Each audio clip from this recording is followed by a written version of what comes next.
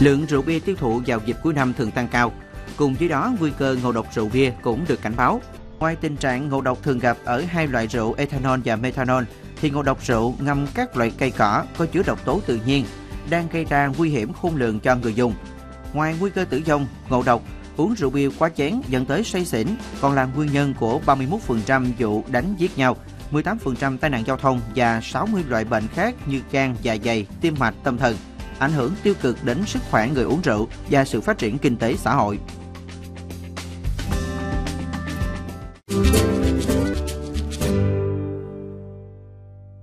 Thưa quý vị, một câu chuyện không mới nhưng luôn là vấn đề nóng vào mỗi dịp cuối năm hay là lễ Tết, đó là tình trạng ngộ độc rượu và tử vong vì rượu. Mặc dù các phương tiện thông tin đại chúng đã nhiều lần cảnh báo, nhưng tình trạng ngộ độc rượu vẫn diễn ra ở nhiều nơi. Và xin được giới thiệu đến quý vị, đây là bác sĩ Nguyễn Thị Duyên, à, khoa hồi sức tích cực và chống độc bệnh viện Bà Rịa sẽ là khách mời trong tiểu mục thầy thuốc của bàn kỳ này. Xin được chào bác sĩ ạ. À, xin chào à, MC Thủy Tiên, xin kính chào các quý vị khán giả. Dạ thưa bác sĩ, trước khi bàn về vấn đề ngộ độc rượu thì à, bác sĩ có thể cho biết à, cụ thể hơn những chất độc hại trong rượu và à, những cái chất này thì nó có tác hại như thế nào đối với sức khỏe ạ? À? Thứ nhất là trong rượu thì có ethanol. Ethanol là một cái chất được sinh ra từ à, quá trình lên men đường cellulose hoặc là tinh bột. Tùy vào cái nồng độ khác nhau mà nó có thể biểu hiện khác nhau. Các cái rối loạn liên quan đến ý thức, à, rồi có thể có tụt huyết áp, hạ thân nhiệt và có thể trụy mạch và tử vong. Chất thứ hai có thể có trong rượu đó là methanol. Methanol thì là một cái chất được gọi là cồn công nghiệp. Methanol thì được dùng trong công nghiệp ví dụ như làm à, các cái dung môi pha chế, đánh vét ni, sơn dầu. À, nếu mà uống rượu gạo truyền thống thì cái hàm lượng methanol nó rất là ít. Tuy nhiên đối với các loại rượu công nghiệp thì cái hàm lượng methanol thì rất là cao.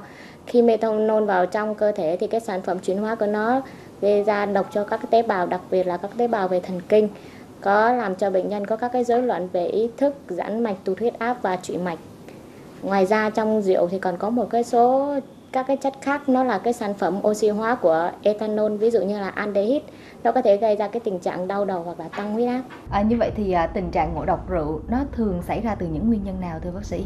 À, tình trạng ngộ độc rượu thường xảy ra từ một số cái nguyên nhân như sau. Thứ nhất là uống các cái sản phẩm cồn mà trong cái thời gian rất là ngắn với cái số lượng rất là nhiều hoặc là uống một lượng ít thôi nhưng mà cái rượu này là rượu cồn công nghiệp. Thứ hai là đối với những trẻ nhỏ hoặc người lớn thì do vô tình hoặc là cố ý sử dụng các cái sản phẩm có cồn, số lượng lớn mà có sẵn trong gia đình cái thứ ba nữa là một số loại rượu không rõ nguồn gốc, có cái ngâm các cái rễ cây, lá cây hoặc là các cái loại mật của các cái động vật, làm cho ờ, trong ờ, rượu đó có những cái chất độc mà có thể gây hại cho cơ thể. Dạ trong những trường hợp bị ngộ độc rượu thì người ngộ độc sẽ có những cái triệu chứng như thế nào, thưa bác sĩ?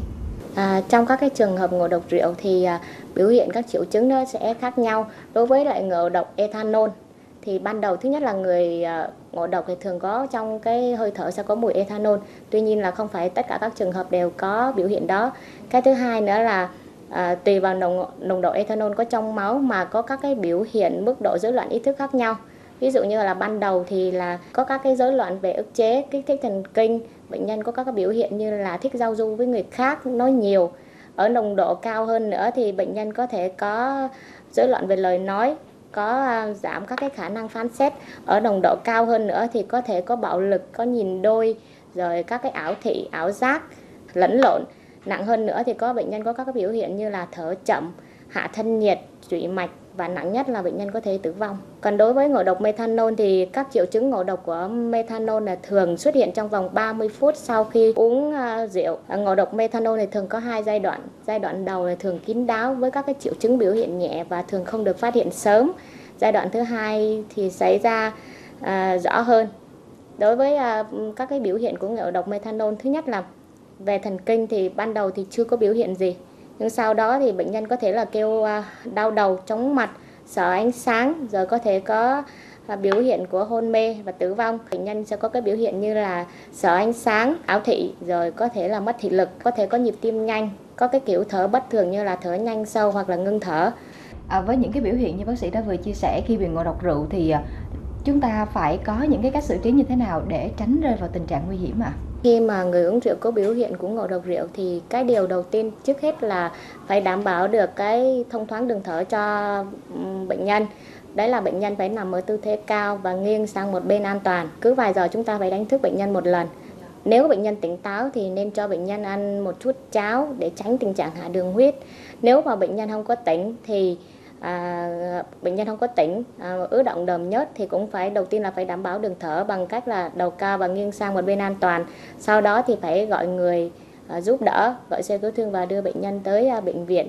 Đối với những cái bệnh nhân mà à, ngộ độc rượu thì thường là có hạ thân nhiệt do đó là phải ủ ấm cho bệnh nhân. Xin được cảm ơn bác sĩ. Độc tính của methanol tác động chủ yếu lên thần kinh, đặc biệt là thần kinh điều khiển thị giác. Vì vậy, thường có biểu hiện loạn choạng, hoa mắt, giống hệt cảm giác say rượu, khiến người đã uống rượu hay lầm tưởng là say nhưng thực chất là bị ngộ độc. Vì vậy, để tránh trường hợp đáng tiếc trên, người dân cần biết cách phân biệt triệu chứng say rượu và ngộ độc rượu để có cách xử trí khi gặp trường hợp bị ngộ độc rượu bia. Người say rượu thường có biểu hiện chến choáng, nói liếu lưỡi, phối hợp cơ thể kém, mất thăng bằng, buồn nôn, nôn. Khi bị ngộ độc rượu, thời gian chậm nhất là 24 giờ sau khi uống rượu pha cồn methanol. Các triệu chứng của ngộ độc rượu sẽ xuất hiện gồm chóng mặt, buồn nôn, nôn, ăn vào lại nôn nhiều lần, đau bụng, lú lẫn, yếu cơ, mắt mờ hoặc nhìn thấy trắng mờ như đang trong cơn bão tuyết, rối loạn cảm nhận về màu sắc,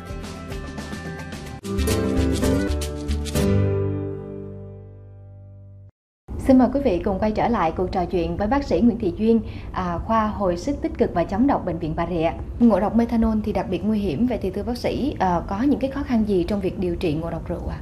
À? À, như chúng ta đã biết thì ngộ độc methanol cực kỳ nguy hiểm. Tuy nhiên là cái vấn đề điều trị thì gặp một số khó khăn. Thứ nhất là thường thì bệnh nhân phát ngộ độc methanol thường được phát hiện ở giai đoạn trễ hoặc là có chẩn đoán lệch hướng sang một chẩn đoán khác do có biểu hiện bởi các cái bệnh cảnh khác ví dụ như tai biến mạch máu não do đó là cái vấn đề về hồi sức và à, điều trị nó sẽ kém đáp ứng hơn cái thứ hai là một số cái thuốc điều trị đặc hiệu cho ngộ độc methanol thì có thể là sẽ là rất là đắt tiền hoặc là không có sẵn ở Việt Nam. Cái thứ ba là đối với ngộ độc methanol thì sẽ phải sử dụng các cái phương pháp điều trị cao hơn ví dụ như lọc máu thì à, sẽ có những cái biến chứng đi kèm khi áp dụng cái kỹ thuật này. À, dạ như bác sĩ đã nói là sau khi điều trị à, ngộ độc methanol thì sẽ có những cái biến chứng đi kèm ạ.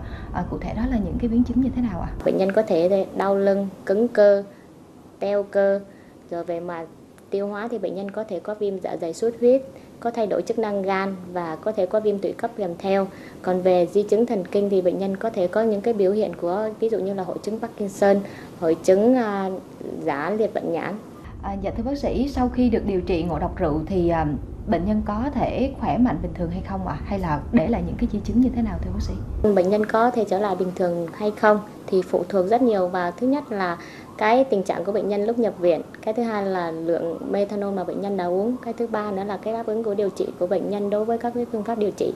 Thì có những bệnh nhân sẽ có thể trở về bình thường nhưng có những bệnh nhân sẽ để lại di chứng vĩnh viễn.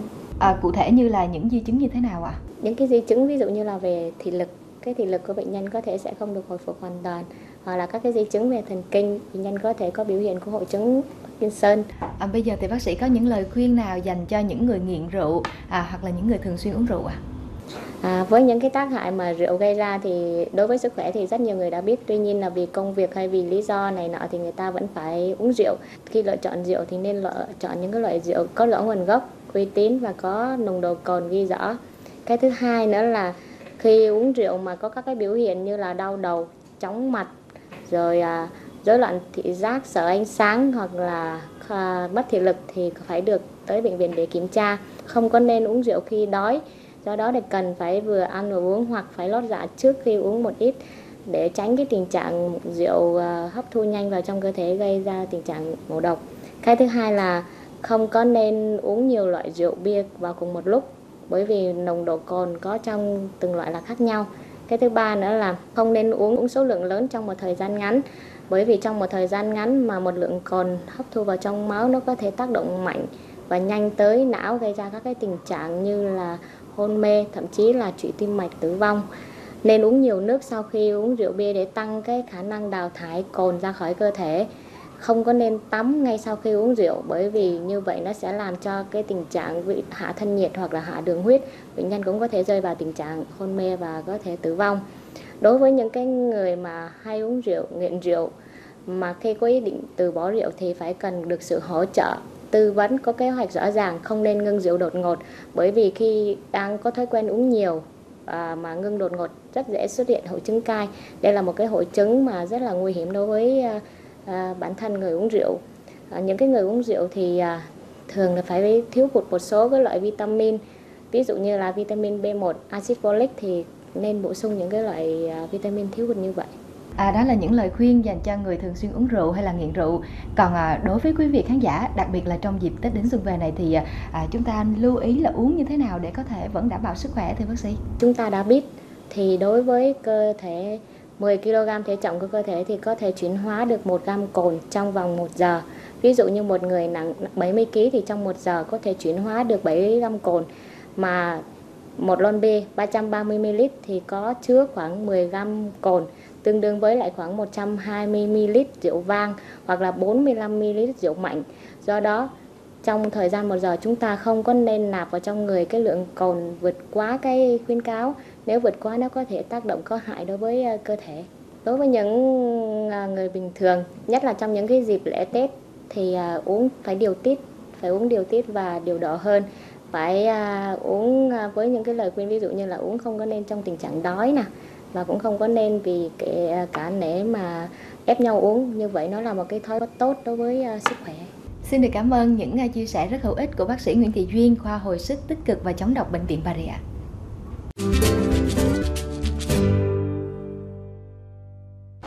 Vị, với không ít người thì việc uống nhiều rượu trong các bữa tiệc, buổi họp mặt là chuyện khó tránh.